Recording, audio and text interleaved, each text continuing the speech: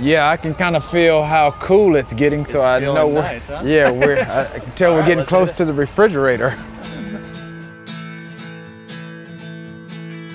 Hi, I'm Terrell Owens, former NFL receiver. We're downtown here at the food bank. I am here to volunteer.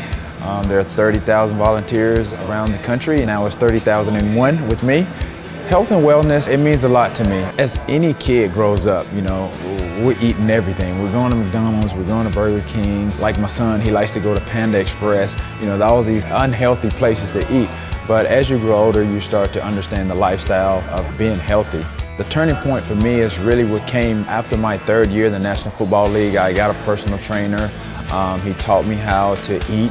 I started to learn a little bit more about nutrition. I saw the benefits of my performance on the football field just with my nutrition.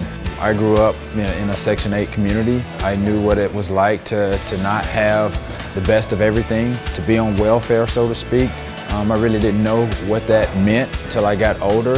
Thrive Market is really helping by really just being a presence in, in, in the lives of many that don't have the means to get food. We're providing hope, we're preventing hunger. That's one of the best things that I feel like my experience with, with Thrive is that they're givers of what is needed with a lot of families out there. What I would like to see is just a blueprint for a lot of people that don't know how to eat healthy and let them know that it's not as hard as you think it is.